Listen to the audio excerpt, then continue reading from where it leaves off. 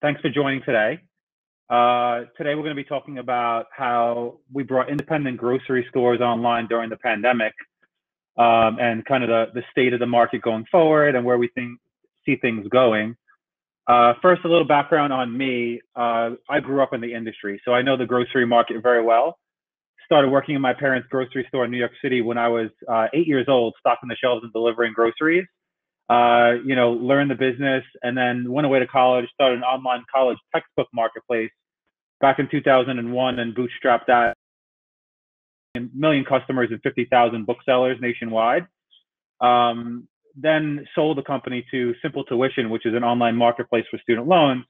Um, and then as I was, I was thinking about my next venture, I went into my father's store and I realized that a lot of things he was doing was still in the Stone Age. He didn't have uh, point of sale system, social media, e-commerce, any of that. So I decided to build it for him.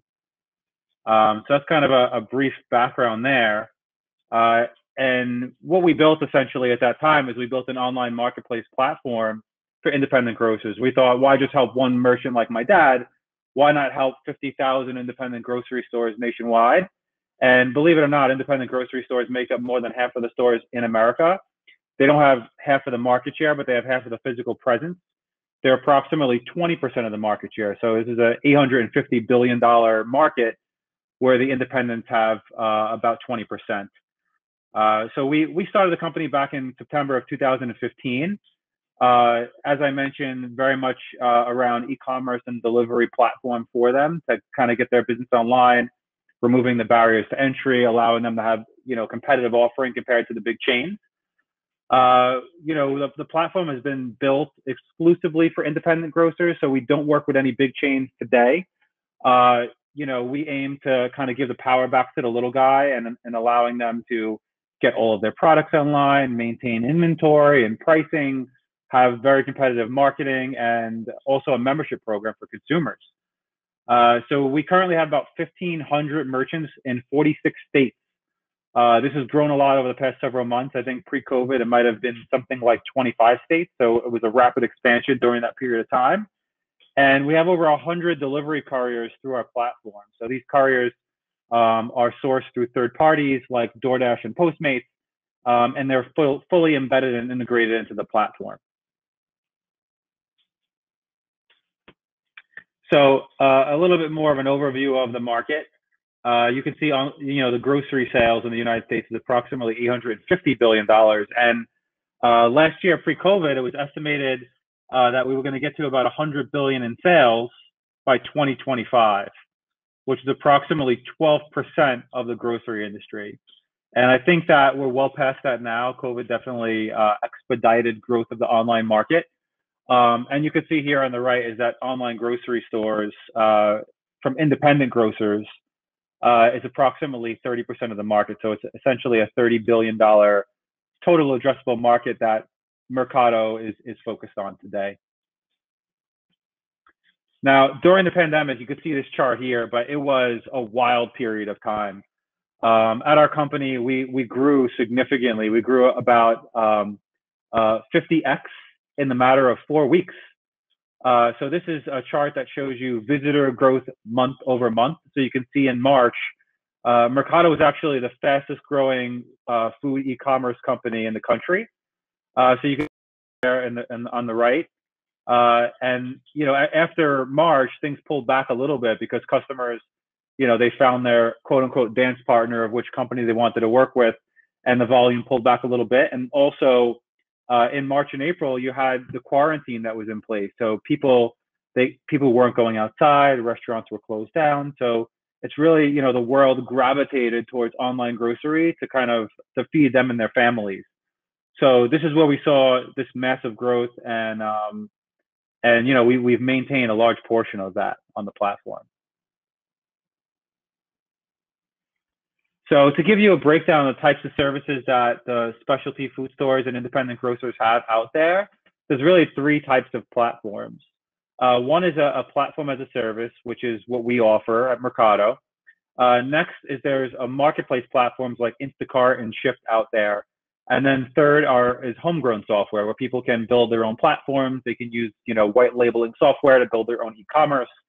Uh, what we we offer the market is we we give them 100% control over their their online store. Uh, what is the aesthetic of it? You know, uploading logos and pictures and product images and uh, sorting the products in the page and all that stuff.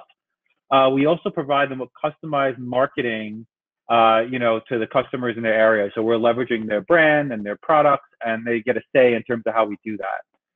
Uh, we also uh, have a fully managed delivery fleet. So we, we actually manage all of the logistics for them. So they don't have to track the deliveries minute by minute. We have a team that's tracking those logistics. Uh, and we automatically dispatch the orders based on when the orders are marked as ready in the store. And we also give stores access to their consumer data, which is really very critical.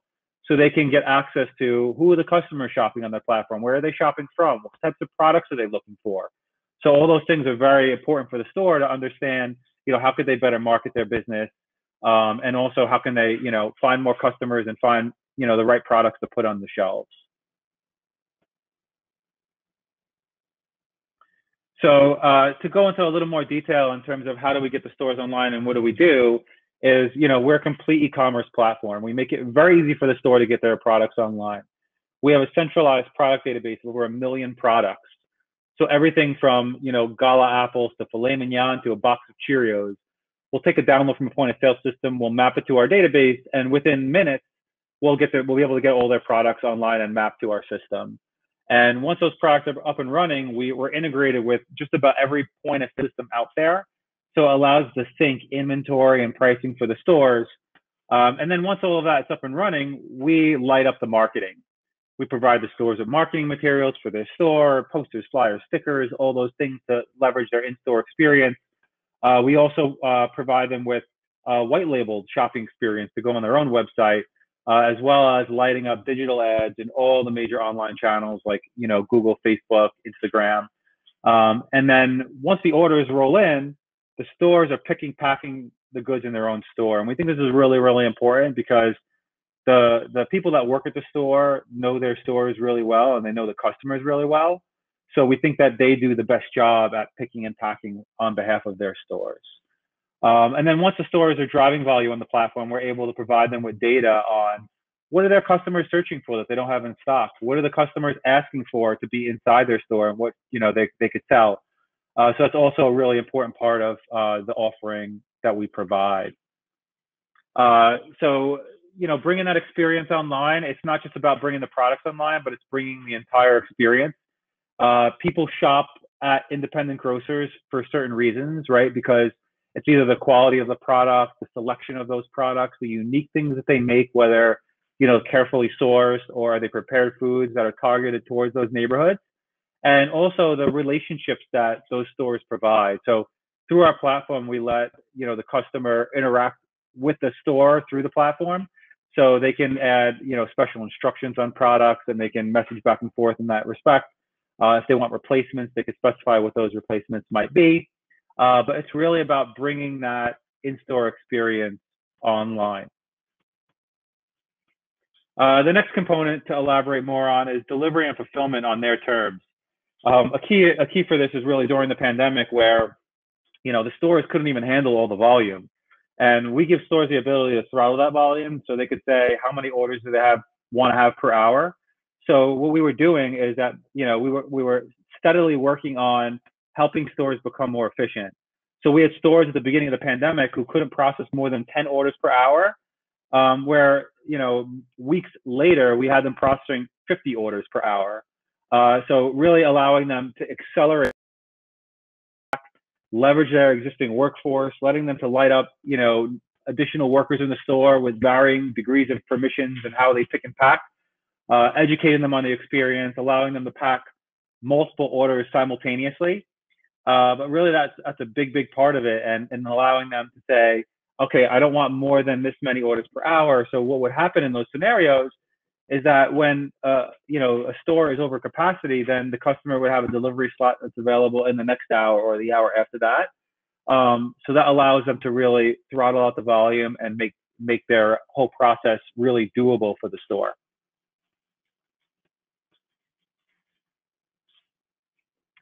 Uh, next is to talk a little bit more you know, we currently have uh, tens of millions of consumer shoppers that are on Mercato each month, so tremendous amount of traffic.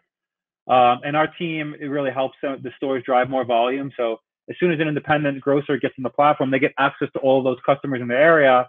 They also simultaneously have the ability to put a white label experience in their site, so they really get the best of both worlds. One where they can leverage their own brand and their own platform, and the other where they get to leverage the entire marketplace experience uh, within their market. Uh, we also provide promotional discounts for the stores uh, to offer to their customers. They get their own specialized promotional codes. Um, we also, you know, have account managers for them and dedicated customer service teams. So these are all really critical aspects, especially during, you know, the, the initial rise of COVID, uh, where the volume spiked through the roof overnight. Uh, it was actually really challenging for us to be able to staff up as fast as we needed to uh, you know, in the early stages, you know, when we started off, we had, you know, dozens of employees and we, we then surpassed the hundreds of employees. So we really, you know, grew by order of magnitude on all areas of the business, not just sales, not just merchants, but also the customer service and the account management staff how to, how to grow as well. And that's really a part of the value added service that we provide to the stores. So uh, please keep posting questions. I'm going to answer them all at the end. I want to kind of flow through this and then I'll kind of rip through them um, in approximately 15 to 20 minutes from now. Uh, the next program I wanted to talk about is our consumer membership program. So this is essentially the an Amazon Prime like product for the independent grocer. So customers can pay $8 uh, a month billed annually, which is $96 a year and they can get unlimited free delivery for all the stores within their neighborhood. And if they pay $19 a month, which, which is $228 billed annually, then they get unlimited free delivery for all of the stores within their city, right? So there's two different regions, and this program has been a huge success.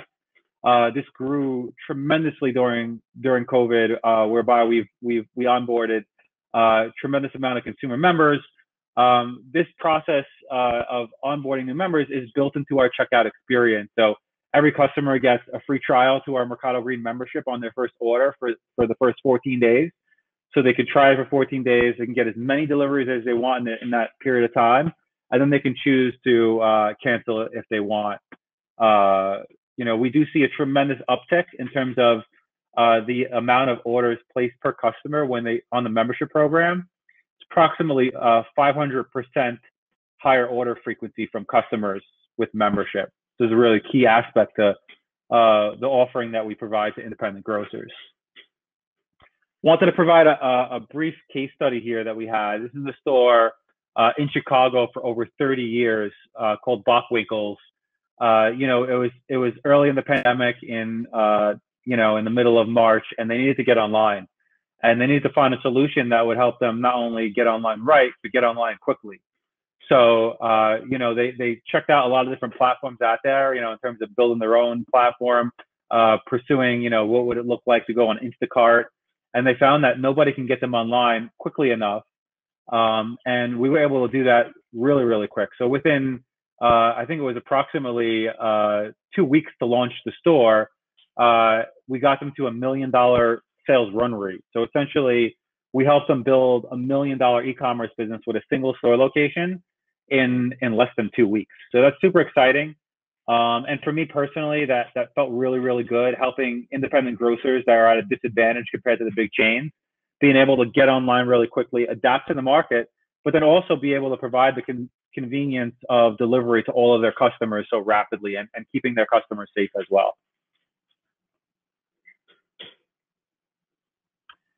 Uh, so yeah, these are the steps to launch. Uh, we we basically uh, get a file from the store on their on, on what they're looking for in terms of which products. Uh, we upload that product list to our database for a million products that we have in our catalog. And as I mentioned earlier, we have a catalog of, of everything from gala apples, filet mignon, a box of Cheerios, everything you could imagine. And then when we upload that file, uh, it maps to our database. Now it looks at product codes of all different sorts. It uses machine learning that looks at product names and descriptions and pricing to, to rapidly map that inventory set. And once the inventory set is is uh, is built into our system, then easily map back to the point of sale system so that we can look at, you know, uh, is the product still in stock? Did the price change? So we then will rapidly be able to keep the product pricing up to date and quantity in sync.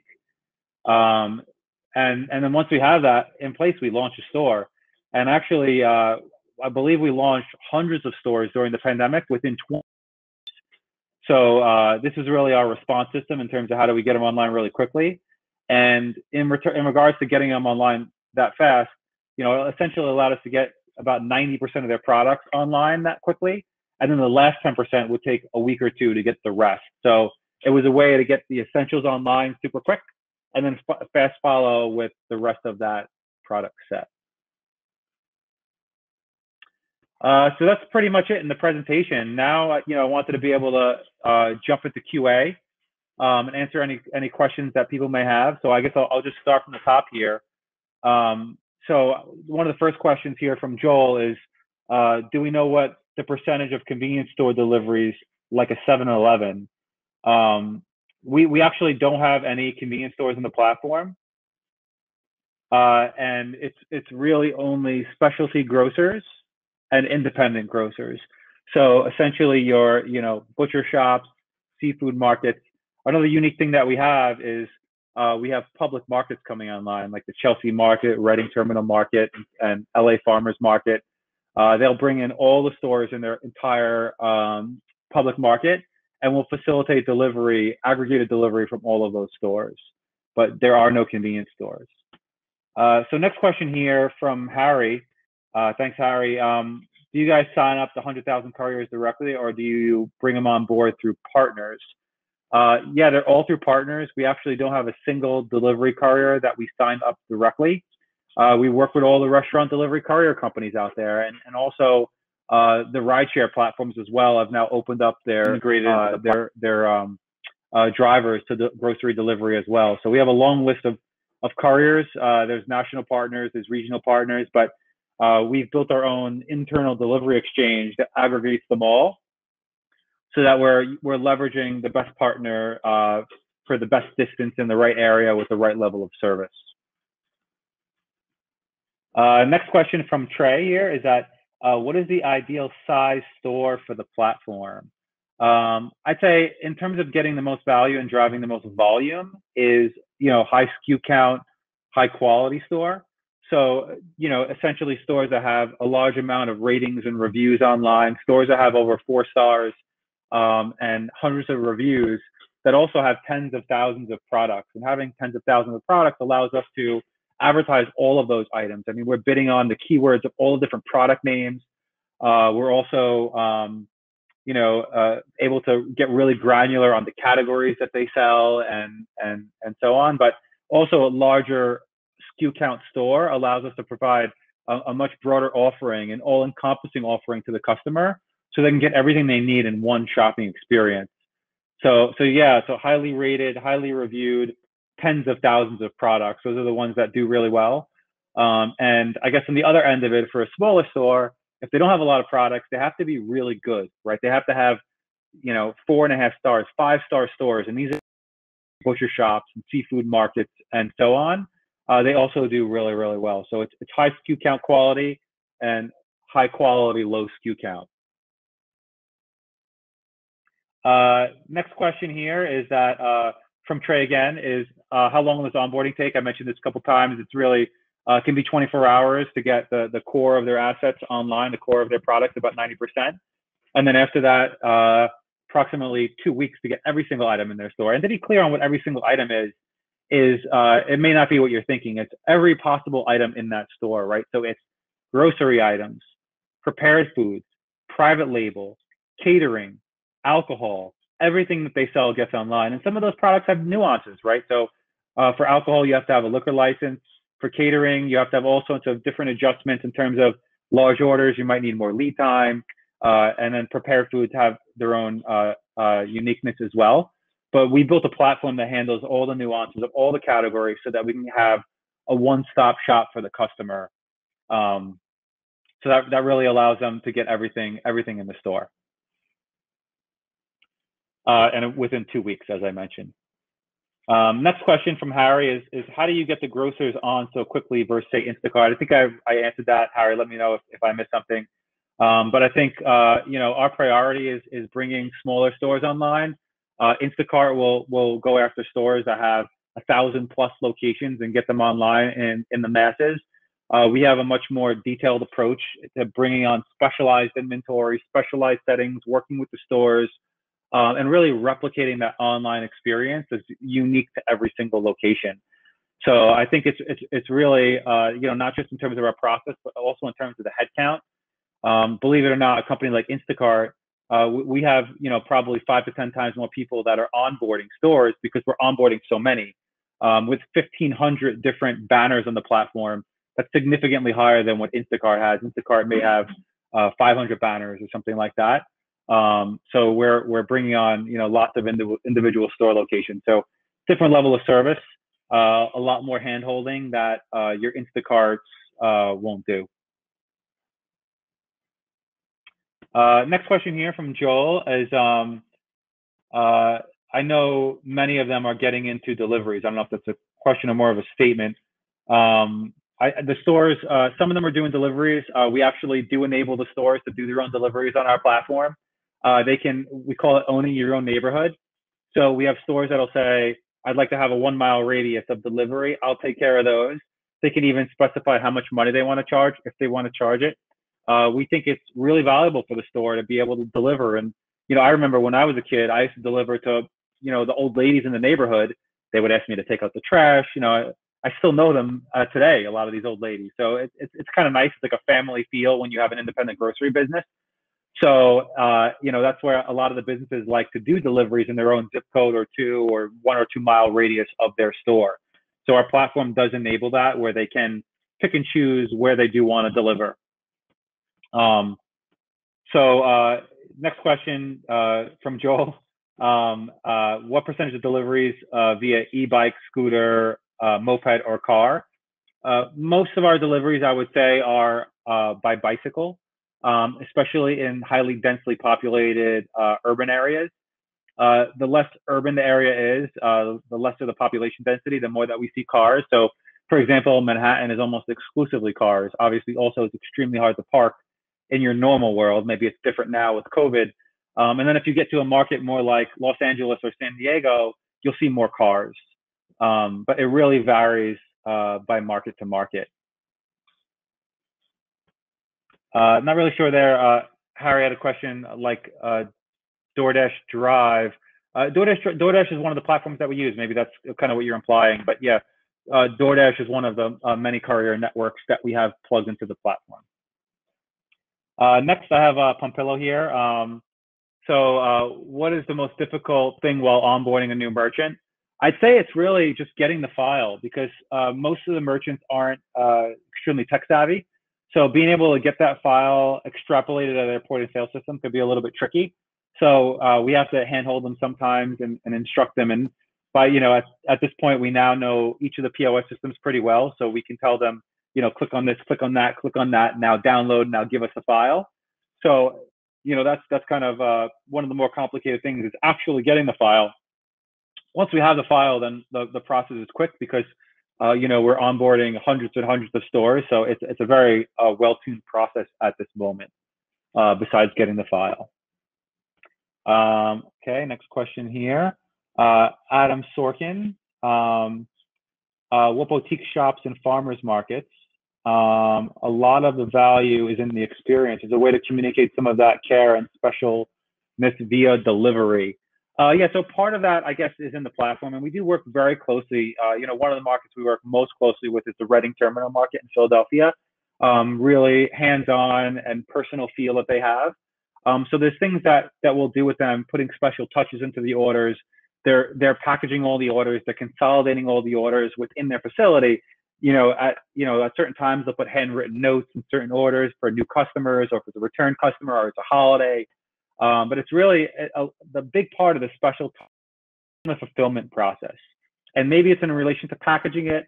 Maybe it's in relation if something's not in stock and giving them a phone call and not just saying we don't have this, what would you like, but saying we don't have this and coming to the table with recommendations that you would get when you would come into the store and saying, you know, we, we don't have, uh, uh, you know, veal chops. Uh, do you want this other item that would be suitable in a replacement of veal chops, for example? So I think that's a big part of it is that is that you know allowing them to maintain that communication, and it's one of the things that we hear from a lot of independent grocers is they really fear being disconnected, being commoditized under the platforms, right? Where a shopper will come in, a shopper will pick and pack in their store, a shopper will talk to their customer, but through our system, our merchants are talking to the customers. Uh, after every order, the customer will rate their order. The customer, the merchant then has an has the opportunity to respond to comments and have an interaction with the customer, so that next time, if they didn't get something perfect, they can get it perfect next time. Um, so that's really, I guess, how we do that there. Um, and there's a lot more to come, right? We're in the early stages of online food ordering. I think that uh, there's a world of improvements that could be had on, on all sorts of platforms. And we have all of these things in our pipeline in terms of instead of ordering by the ingredient, ordering by the recipe, uh, being able to un- understand people's dietary preferences, what they like to eat, if they're allergic to something, if they're, you know, gluten free or however what their habits are. So there's ways to make the experience much more special but at the core of our experience and what makes us unique is we work with independence where relationship matters. So everywhere we can, we try to leverage that relationship and provide that greatness back to the customer. Um, so uh, next question here. See, you got to scroll here. Um, from Joel. Uh, uh, so yeah, so if it's a larger delivery, we actually do specify to the courier network that we would need a car or an SUV. Um, and we do that for if there's catering orders or if there are orders that have several bags. So the stores will specify how many bags it'll be. Because obviously, if you're, you know, delivering a, a platter of food or, or something, or you know, there's seven bags, uh, you don't want a bicycle, a person on the bicycle coming. So that's when we'll automatically dispatch through the platform. Uh, next question from Matt is, uh, what are the typical gross margins of your specialty store partner? So it, it varies, right? So if you think about it, you know, you look at your Whole Foods of the world where they have approximately uh, 32% gross margins in their business, and uh, specialty food stores will have a little bit higher. So I think it depends on the level of specialty. If you talk about a small format store that is, you know, really niche, butcher shop, seafood market, uh, produce market, something that's super niche, it could be higher than 33%. But when you get to the bigger format stores, yeah, they're they're within range 30 to 40% gross margins on average for those types of stores. There are categories in the store that are a lot tighter. And I think where you see a lot of confusion here in the market, and when you look at independent grocers, they'll typically talk about slim net, you know, net margin, profit margins. Um, but their gross margins are are in the low 30s, and maybe in some cases they're high 20s. Um, and there are some product categories in the store that are lower margin, but on average, you know, they make up for it with certain specialty products, prepared foods, which will generally be higher. Okay. Uh, from next question is from David. Uh, what internal KPIs do you use and rank platform grocers to determine uh, who is a good partner, or is that just determined by customer reviews? So yeah, good question, David. You, seem to know this pretty well. Uh, so a really strong internal KPI, as David mentioned, is that the customer reviews, right? So we'll see what is the average review and and what is the velocity of that that score, and is it trending? Uh, we'll also look at fulfillment rate. We'll look at the net promoter score. Um, so those are really important things. We're also going to look at other aspects of the overall consumer experience, assess where we can improve. Um, we're actually in the process of improving a platform called Delighted, which we think is really good. And Delighted allows us to get a lot more granular in assessing net promoter score in different parts of the user experience. But you know, with typical online platforms, the consumer rating is where it's at, and that allows us to really assess very granularly on a merchant by merchant basis. Uh, next question is from Kevin. Um, can you talk about how Mercato uses consumer data to inform marketing to increase repeat business? Uh, so, you know, obviously we're looking at reorder rates and we're seeing, uh, you know, how, how, uh, how long it takes a customer to come back to the platform. So for example, if somebody placed an order and they didn't shop in a month, that gives us a, a you know, kind of a data to say we should remarket to that customer to keep them shopping. Typically, if a customer is not shopping over a period of two weeks, we're going to reach back out and we're going to be marketing to them to keep them active on the platform. So this is a really powerful component for the independent grocers because not just are we doing top of the funnel marketing, but we're doing retention marketing. And it's not just about advertising. It's also about, uh, you know, email, push notifications, SMS advertising, really to communicate to the customer in the platform that they're best communicated to, um, to really maintain that um, high level of retention rate on the platform. Um, so uh, Pompillo, next question here is what about acquisition uh, of the buyers? Does it, does it come from you, uh, from the merchants, or is it organic? So it's really, it's really truly a blend. Um, I'd say typically it's like a, uh, it's a third, a third, a third that we see, um, and they kind of all work in complementary of each other. So uh, you know, we will do uh, advertising. We'll promote on Google and Facebook and Instagram and YouTube and and and you know, mobile app advertising, all of that. Um, but that goes in complement with the stores, you know, posting on their own website and doing their own marketing and putting materials in the store. And the third area is organic. And I think the organic, uh, you know, obviously word of mouth, but also SEO is a really powerful component. We've we've uh, achieved pretty strong rankings. I think that we're we're pretty much on the first page for grocery delivery everywhere in the country. Uh, and the same holds true for neighborhoods, cities, products, and all the different ways that one could SEO a grocery delivery platform. Okay. Uh, next question here, and I think this is the last one until you guys enter more. This is from Matt. Is what is a, good example uh, to look at of a white label customer on your platform? Um, so I would say that um, you could probably look at uh, Valley Farm Market in San Diego. That's one that we look at uh, pretty often. Um, I'd have to get back to you on some of the, who the some of the few others are. Uh, we're actually in the process of building a more advanced experience than we have today um, one where we're, we're not just uh, embedding an iframe, because currently we embed an iframe into their platform, but uh, we're moving to a fully uh, white label experience where we're going to be plugging into their into their uh, domain, essentially a subdomain. Uh, next, uh, from Miko, from pronouncing that correctly. how do you make sure a store's inventory is updated in Mercato? Store managers can update it on their side, or do you have that process automated? So yes and yes. So uh, we created a platform, uh, dashboard, uh, inventory module for the merchants where they can go in um, and they can uh, update their own inventory. So they can very easily mark something in stock, out of stock. When they process an order, they could say, this item's out of stock. Please out of stock it for 24 hours. Please out of stock it for seven days. Please out of stock it forever. So really, we've created multiple touch points to be able to um, allow them to maintain the inventory through the platform. On the other end, we've also automated it, and the automations depend on you know uh, the integrations that we have with the respective merchants, and we use we will use their data files to to keep uh, inventory in stock. Okay. Uh, next question here from Kurt. Uh, well, thanks for your session. Thanks for joining. Um, what are your thoughts on including uh, fresh products on your platform, such as hot, prepared foods, challenges, and opportunities? So uh, yes, we do.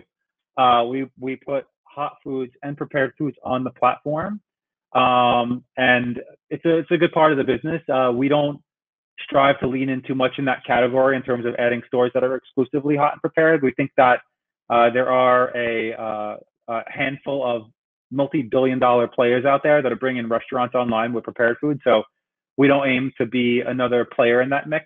Uh, it's really competitive there. Um, but some of the challenges there is that um, actually, you know, hot foods is probably one of the more complicated things because if you think about it, uh, with grocery, we're dealing with all sorts of temperatures and we're dealing with stuff that is room temperature, stuff that has to be cold, and stuff that has to be hot, right? So when you're dealing with stuff that is room temperature and cold, that's easier, right? Because you could actually put it in the fridge or leave it stored outside. But when it's the foods are warm, it, you have to deliver it instantly. So uh, this is where it's harder for stores to coordinate the hot foods. And essentially, what you'll see stores do is they'll pick and pack the dry goods. Then they'll get then they'll have the goods that are refrigerated. They'll leave them in the refrigerator. And then when it comes time for the order being ready, they'll prepare the hot foods, put it all together. So yeah, the hot foods make it a little more complicated and the dynamics of all of this um, to make sure that the hot food gets there hot.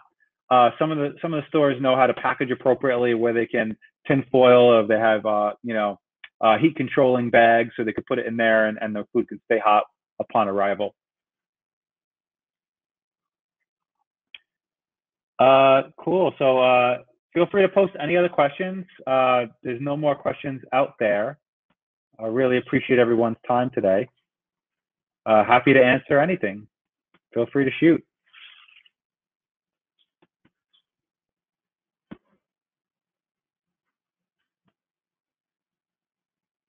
So feel free to connect with me on LinkedIn, guys. You can see on the screen, um, Bobby B. Brannigan on LinkedIn. Um, happy to talk about any ways to partner.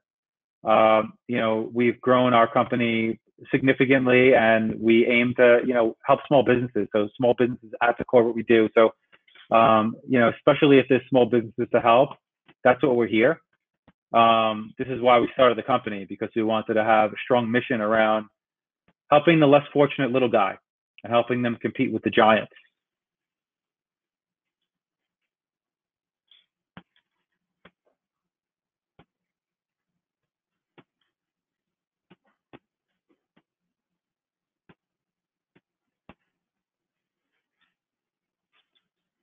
Cool. So uh, Matt uh, asked for some um, thoughts on Amazon Fresh and kind of the lay of the landscape. So I can speak to that.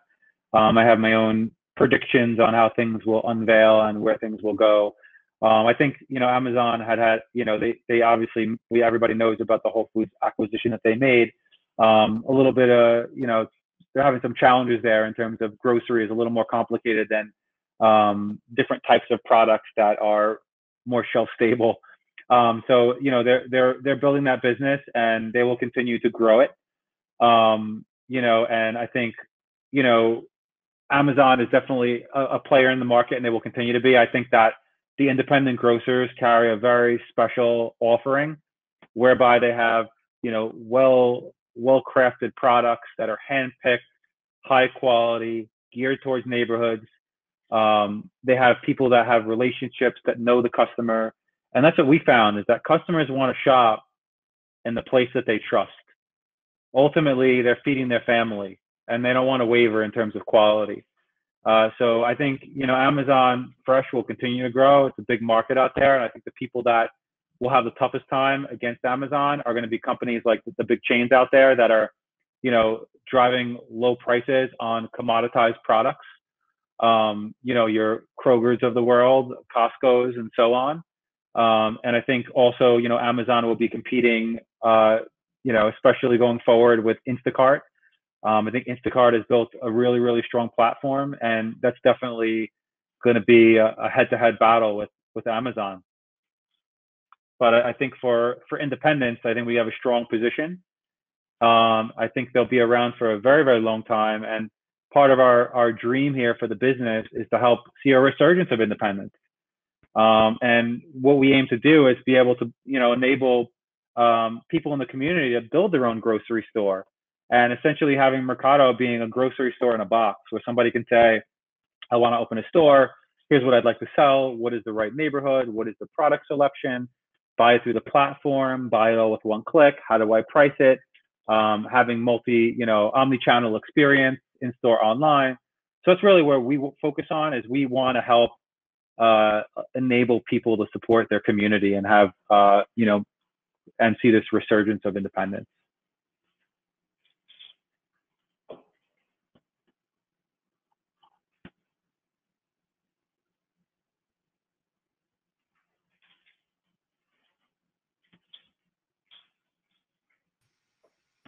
Thank you so much, Bobby. That was really cool. Um, if anyone has any more questions, now's your time to get them in. Hurry up. Other, otherwise, um, feel free to go into the networking session or take a break. We, we have another panel coming up, another workshop with Bbot uh, talking about QR codes at 3 p.m. Pacific, 6 p.m. Eastern. Um, but yeah, thanks again, Bobby.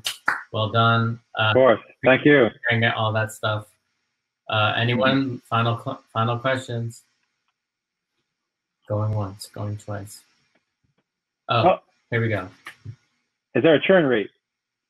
Uh, churn rate is very low. We have actually a negative churn during COVID. Obviously, you can imagine anybody who decided to pause came back during COVID because they wanted to get their store back online. Um, so very, very, very little churn. Uh, we make it very easy to manage the platform. Um, I guess some of the the uh, things to mention around that is that you could get an order any way that you want it. If you want to get a fax pop out of the wall, that could happen. So it's really pretty seamless in a store's experience. It's not a ton of overhead to keep us up and running. Um, so that's the kind of the, the churn scenario, very, very low. Um, Adam, next question, is there an equivalent of a ghost kitchen in the specialty grocery market? So uh, that's a good one. Um, I haven't seen um, uh, kind of the ghost ghost kitchen uh, in in grocery. Generally, we'll call them dark stores. Um, we have seen a lot of people coming onto our platform and saying, "I'm opening a dark dark store. Can I be on Mercato?" And we do facilitate that. So if people want to quickly stand up a store, um, during COVID, we've we've received uh, maybe I'd say a dozen or so dark stores that popped up. Wow. Uh, but it's a very very interesting opportunity. Well, you saw the ClusterTruck uh, Kroger announcement where they're going to be putting ClusterTrucks, ghost kitchens, uh, in about I think a thousand square foot of the Kroger store in two different locations. Hmm. Um, yeah, I guess it's smart. Yeah, yeah. So I, I'm seeing that blurring happening more and more with you know CPG and and prepared meals. Mm-hmm. Exactly, I agree. All right, guys. Any more questions?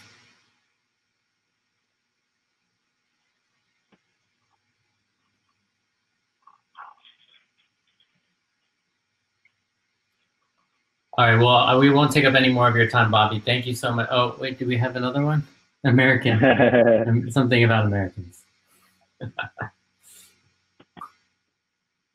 Americans move 11.3 times in their lifetime. Remote work can make people much moving much more or less. Do you think this could help in making communities stronger? uh, well, I don't know. I don't think it, this will actually change people from moving. I think it's kind of cool that like I think it's like the American lifestyle, like this nomad life of traveling around. I think it's actually pretty cool.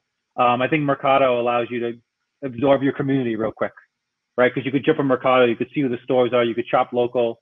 I think there's stores that you want to know, places where they're going to remember you by your first name. So I think it actually maybe it makes you easier to move around because you can maybe get acclimated towards the stores in your community more quickly. We actually um, have some people even on the Mercato team who have jumped to different cities during COVID, working out of you know Hawaii and different cities, and Mercato's there, so they're able to just to jump to different markets. Looks like a lot of people are going to be hitting you up on LinkedIn based on the chat. Yeah. yeah. I'm doing it right now. Um, cool. But thanks again, Bobby. This was awesome.